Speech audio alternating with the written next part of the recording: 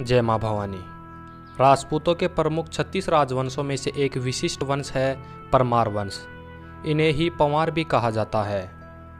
आठवीं शताब्दी से तेरहवीं शताब्दी तक परमार राजपूतों का इस देश में विशाल साम्राज्य था। इन वीर राजपूतों के इतिहास का वर्णन करने से पूर्व हम इनकी उत्पत्ति के विषय में जानते हैं।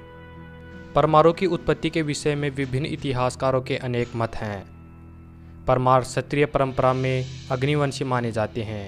इसकी पुष्टि साहित्य एवं शिलालेख भी करते हैं।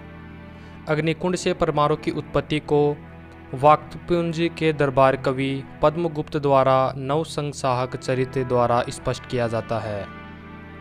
इसके अनुसार आबू पर्वत पर वशिष्ठ ऋषि रहते थे। उनकी गाय नंदनी को विश्वामित्र छल से हर ले गए। इस पर वशिष्ठ ने क्रोध में आकर अग्निकुंड में आहुति दी, जिससे एक वीर पुरुष उत्पन्न हुआ, जो शत्रुओं को पराजित कर गौ माता को ले आए। उसी वीर पुरुष के वंशज उसके नाम पर परमार अथवा पंवार कहलाए।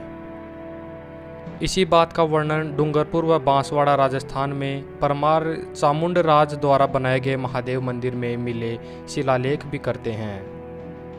उन शिलालेखों के अनुसार भी गुरु वशिष्ठ की गाय को ले जाने पर दिव्य पुरुष ने ही परमार वंश की स्थापना की। तथा यह सभी बातें पृथ्वीराज रासों में भी देखने को मिलती है। वहीं भविष्य पुराण के कुछ श्लोक के माध्यम से यह भी पता चलता है कि सम्राट अशोक के समय में आबू पर्वत पर ब्राह्मणों ने यज्ञ कर चार क्षत्रिय वीर पुरुष उत्पन्न किए। परमार चौहान चालुक्य तथा प्रतिहार। इन्हीं के नाम से ये वंश चले। भविष्य पुराण के अनुसार प्रथम आबू यज्ञ सम्राट अशोक के समय में 232 ईसा पूर्व से 215 ईसा पूर्व के मध्य हुआ और दूसरा यज्ञ छठवीं शताब्दी में गुरु वशिष्ठ ने किया। इसलिए विष्णु पुराण के अनुसार प्रथम यज्ञ से ही परमाणु की उत्पत्ति मानी जाती है। सबसे प्राचीन उल्लेख परमार सियक के हरसोर जो कि अहमदाबाद के पास है। में मिले विक्रम संवंत 1005 के दान पात्र में पाया गया, जिसके अनुसार परमारों की उत्पत्ति राष्ट्रकूटों से मानी जाती है, तथा राष्ट्रकूटों की भांति ही परमारों को भी चंद्रवंशी माना गया।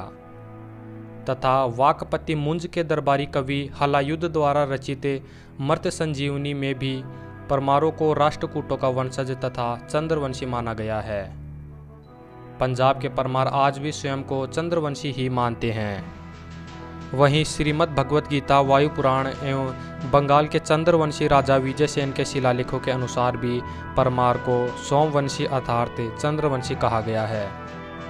परंतु परमार स्वयं को सूर्यवंशी मानते हैं। उदयपुर एवं पटना के शिलालेखों में भी परमारों को वशिष्ठ गोत्रीय सूर्यवंशी क्षत्रिय माना गया है। परान मारतीति परमार अर्थात शत्रुओं को मारने वाला ही परमार कहलाता है। परमारों के मुख्य राज्य थे मालवा, बागड़ मेवाड़, आबू राजस्थान, जालोर राजस्थान, किराड़ू राज्य, तथा नवीन राज्य थे दाता गुजरात, पिसागन अजमेर, देवास तथा धार राज्य मध्य प्रदेश, टेहरी गढ़वाल एवं पौडी गढ़वाल राज्य, जगदीशपुर व डुमराव बिहार, राजगढ़ व नरसिंहगढ़ मध्य प्रदेश, छतरपुर राज्य, बेड़ी राज्य, अमरकोट राज्य, सिंध पाकिस्तान पारकर राज्य तथा जगमेर राज्य। यह सभी मुख्य राज्य थे परमार राजपूतों के। मारवंशीय राजपूतों का गोत्र होता है वशिष्ठ, परवर होता है वशिष्ठ, अत्रि, सांकृति, वेद होता है यजुर्वेद, उपवेद होता है धनुर्वेद, शाखा होती है माध्यनिंदनीय, सूत्र होता है पारस्कर ग्रह सूत्र वृक्ष होता है कदम का या पीपली इष्ट देव हैं सूर्य देव या महादेव, तलवार है रणतरे ढाल है हरियण, निशान है केसरी, ध्वजा है पीला रंग की ध्वजा, गाय है कवली, नदी है शिप्रा पक्षी है मयूरा, प्रमुख गद्दी है थार नगरिया उज्जैन। उत्तर भारत के परमारों की कुलदेवी सचियाई माता तथा उज्जैन के परमारों की कुलदेवी काली देवी है। इस वंश में राजा भोज परमार, विक्रमादित्य जैसे सम्राट तथा भरतरी जैसे संतों ने भी जन्म लिया। अब बात करते हैं परमार वंश की मुख्य खापे एवं ठिकानों के बारे में। परमारों की पहली शाखा है वराह परमार। इन्हें नौकोटी मारवाड़ के संस्थापक धरणी वराह जी का वंशज माना जाता है। अभी परमारों में यह खाप नज़र नहीं आती, नवीं शताब्दी में इनका भाटियों से संघर्ष चला था। लोदरवा परमार, यह परमारों की प्राचीन खाप है। भाणजी के वंशजों का शासन लोदरवा पर होने के कारण इन्हें लोदरवा परमार कहा गया। भाटियों ने इनके राज्य को समाप्त कर अपना अधिकार जमा लिया था। बूटा परमार। यह परमार की वराह तथा लोदरवा परमारों के समकालीन थे। भाटी राजपूतों से इन्होंने भी संघर्ष किया था, लेकिन अंत में भाटी विजय रहे। चन्ना परमार। यह परमारों की एक प्राचीन खाप थी। मोरी। यह भी परमारों की प्राचीन खाप थी। राजा मोरी परमार के वंशज ही मोरी परमार कहलाए। आज भी मोरी परमार चित्तौड़ तथा मालवा क्षेत्र में रहते हैं। सुमरा। राजा सुमरा परमार के वंशज ही सुमरा परमार कहलाए। नवीं शताब्दी में से तेरहवीं शताब्दी तक सिंध के कई भागों पर इनका शासन था। उमरा सुमरा ने ही नवीं सदी में उमरकोट अथवा अमरकोट बसाया। अमरकोट पर तेरहवीं सदी में सोढ़ा परमार राजपूतों ने अधिकार कर लिया। अलाउद्दीन के समय सुमरा परमार मुसलमान बन गए थे। उमट परमार इस खाप की उत्पत्ति के अनेक मत है, लेकिन अधिकांश इतिहासकारों के अनुसार अमरकोट के संस्थापक उमरा सुमरा के वंशजी उमट परमार कहलाए। ग्वालियर के पास नरसिंहगढ़ व राजगढ़ उमट परमारों के राज्य थे। यहाँ यह परमार आज भी बसे हुए हैं। बीहल परमार, यह भी परमारों की प्राचीन खाप है, जिनकी उत्पत्ति का स्पष्ट पता नहीं चलता। आबू के पास इनका राज्य था। डोडिया परमार राजा उदयादित्य के पुत्र पिल धवल के वंशज माने जाते हैं। इनकी उत्पत्ति विक्रम संवत 900 से पूर्व ही हो चुकी थी। परमारु की प्राचीन खाप होने के कारण इन्हें छत्तीस राजपूत कुलों में भी जोड़ा गया। गुजरात में बड़ौदा के पास डोडा नामक स्थान से निकास के कारण यह परमार डोड अथवा डोडिया कहलाए। उत्तर प्रदेश, मध्य प्रदेश तथा गुजरात में यह परमार सर्वाधिक निवास करते हैं। इस परमार शाखा में अनेक वीर पुरुषों ने भी जन्म लिया। सोढ़ा परमार किराड़ों के शासक राजा धरणी वराह के वंशज सोढ़ा तथा सांखला दो भाई थे। सोढ़ा जी के वंशज सोढ़ा परमार तथा सांखला जी के वंशज सांखला परमार कहलाए। राजा धरणी वरा सातवीं शताब्दी में नौ कोट के राजा थे। सोडा परमारों की मुख्य खापे हैं भाण सोडा अमरकोट के शासक दुर्जन सल के बड़े पुत्र खेमरा सिंहासन पर बैठे। इन्हीं के छोटे पुत्र भाणजी के वंशज भाण सोडा कहलाए। केलन सोडा भाणजी के भाई केलन जी के वंशज केलन सोडा कहलाए। यह आज घाट क्षेत्र पाकिस्तान में रहते हैं। नागढ़ सोडा केलन जी के भाई नागढ़ जी के वंशज हैं ये। संग्राम सिंह सोडा यह नाहर जी के भाई संग्राम सिंह जी के वंशज है। अमरकोट के आसपास घाट क्षेत्र में बसे हैं। Barresi soda. अमरकोट के शासक हमीर जी के पुत्र बेरसी जी के वंशज बेरसी सोडा कहलाए। इनकी तीन मुख्य खापे हैं, नब्बा सोडा, देवा सोडा, रायब सोडा। बरजांग सोडा। बेरसी जी के भाई बरजांग जी के वंशज हैं ये। उदा सोडा। बरजांगण जी के भाई उदा जी के वंशज हैं ये। यह आज प्राय पाकिस्तान में ही बसते हैं। महराण सोडा उदा जी के पुत्र कुपा कुपा जी के पुत्र बेहसल तथा बेहसल जी के पुत्र महिरावण हुए। इन्हीं महिरावण जी के वंशज महरावण सोडा कहलाए। सादुल सोडा महिरावण सिंह जी के पुत्र खेत खेतसी के पुत्र सादुल जी के वंशज सादुल सोडा कहलाए। यह भी प्राय पाकिस्तान में ही बसते हैं। अखेराज सोडा सादुल जी के भाई लाखा जी के पुत्र अखेराज जी के वंशज अखेराज सोडा कहलाए। जेतमल सोढ़ा। खेतसी के पुत्र कान्हा जी के पुत्र जेतमल जी के वंशज हैं ये। सरा सोडा कान्हा जी के पुत्र सूरा जी के वंशज हैं। मघा सोडा कान्हा जी के पुत्र मघा जी के वंशज हैं। धोधा सोडा अमरकोट के शासक अवतार दे के पुत्र धोधा जी के वंशज हैं। तेज मालोत सोडा अमरकोट के शासक तेज सिंह जी के वंशज हैं। करनिया सोडा तेज सिंह जी के परपोत्र करणी सिंह जी के वंशज है। बिजेरान सोडा, अमरकोट के शासक हमीर जी के पुत्र बीजा जी के वंशज हैं।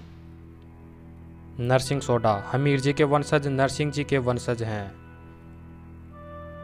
सुल्तान सोडा तेज सिंह जी के वंशज, गंगा सिंह जी के पुत्र सुल्तान सिंह जी के वंशज सुल्तान सोडा कहलाए। पाकिस्तान के छाछरों व फागलियों इनके ठिकाने थे। नरपाल सोडा अमरकोट के राजा राणा तेज के पुत्र नरपाल जी के वंशज हैं। गंगदास सोढ़ा। राणा गंगा जी के वंशज गंगदास सोडा कहलाए। अमरकोट के आसपास इनके ठिकाने थे। भोजराज सोडा गंगा जी के परपोत्र भोजराज जी के वंशज हैं ये सोडा छोल, खोरा तथा ठिगारी इनके ठिकाने थे। जोधा सोडा गंगा जी के पुत्र मान सिंह जी के तथा मान सिंह जी के पुत्र जोधा जी के वंशज जोधा सोडा कहलाए। आसराव सोडा। अमरकोट के शासक दुर्जन साल के छोटे भाई आसराव जी ने पारकर क्षेत्र पर अधिकार किया। इसी आसराव जी के वंशज आसराव सोडा कहलाए। यह सोडा परमार बिहार के नागपुर क्षेत्र में रहते हैं। सांखला परमार। किराड़ों के शासक धरणी वराह जी के वंशज बाहर जी के पुत्र सांखल जी के वंशज सांखला परमार कहलाए। भायल परमार। उदयचंद जी के वंशज भायल जी के वंशज भायल परमार कहलाए। मारवाड़ में इनके अनेक गाँव थे। भाभा परमार। उदयादित्य परमार के पुत्र तथा ऋण धवल जी के पुत्र वीरसल जी के पुत्र, भाभा जी के वंशज भाभा परमार कहलाए। हुण परमार। ऋण धवल जी के पुत्र हुण के वंशज हुण परमार कहलाए। यह परमारों की प्राचीन खाप है। आक्रमणकारी हुण जाति से यह भिन्न है। सावंत परमार। ऋण धवल जी के पुत्र, हमीर जी के पुत्र, सावंत जी के वंशज सावंत परमार कहलाए। बारड़ परमार, यह परमारों की प्राचीन खाप है। इस खाप की उत्पत्ति भी उदयादित्य के वंशजों से ही मानी जाती है। सुजान परमार, हमीर जी के पुत्र सुजान जी के वंशज हैं ये।